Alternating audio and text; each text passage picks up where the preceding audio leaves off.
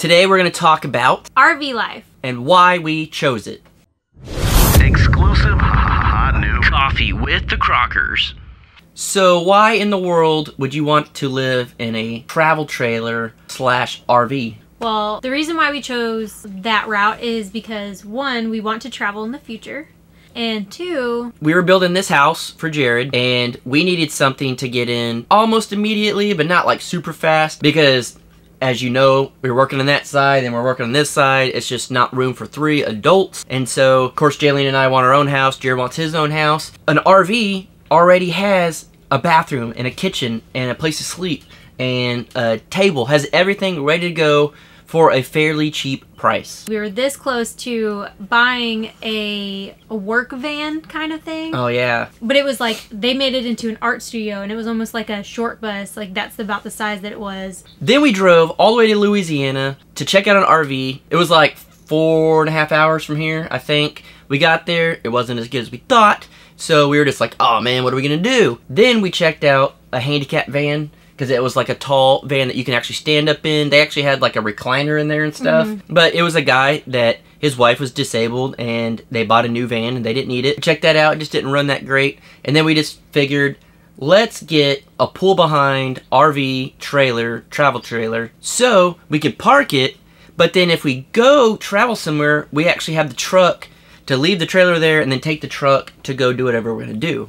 With the pull trailer, one thing that we noticed pretty much out of everything, old and new, the pull trailers are cheaper.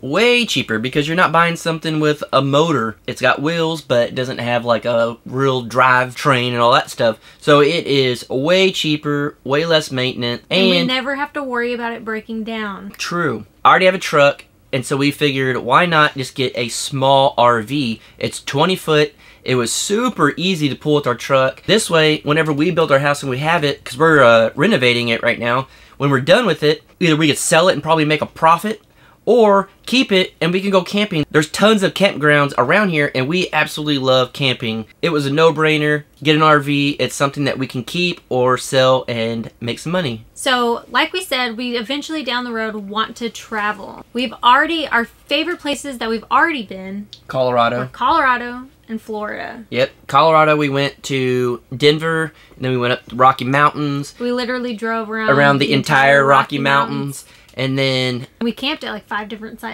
Yeah, that was awesome. We did tent camping, and I love tent camping, but it does take a toll. And we want to take our parents with us, and you know, family and friends, and that gives us more room for you know my parents to sleep or whoever. And then an added bonus is if it's here at the house and parked, and someone comes over to visit, it's a place for someone to stay if we need it. Then we went to Panama City Beach, and that was our absolute favorite beach ever. And I've been to a ton of beaches. Yeah, we drove from Texas all the way down the coast into Florida and like all around Florida and back. And Panama City Beach was our absolute number one favorite place to go. It was awesome. So, one place that I really, really want to travel to is California. It's overrated, as a lot of you know, because a lot of you are from California and you keep asking us how to buy land in Texas. But it's a cool place to visit. I want to go to Alaska.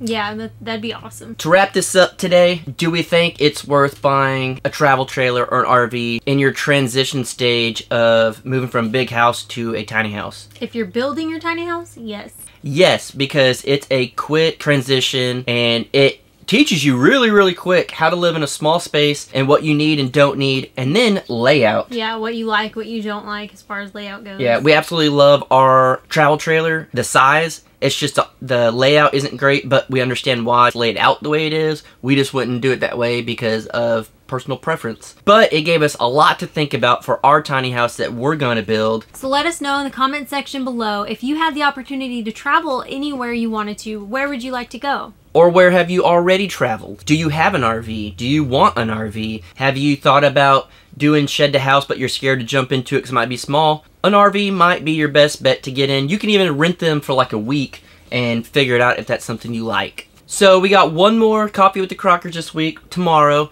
And then I think since we did a whole week of it to get you guys interested, please comment below and let us know if once a day is too many. We're thinking of maybe doing it once a week Making it a little bit longer, but not too lengthy. Yeah, and we'll just do it like on the weekend or something. And we would love for you guys to give us suggestions on things to talk about, like certain topics each week. And so I think that would be a great idea. Yeah, so please let us know, and we hope to see you later on in our vlog. It's going to be an interesting one. We're going to check out some crazy stuff, so we'll see you later today. Just remember, any time is a great time for a coffee break. We'll see you tomorrow.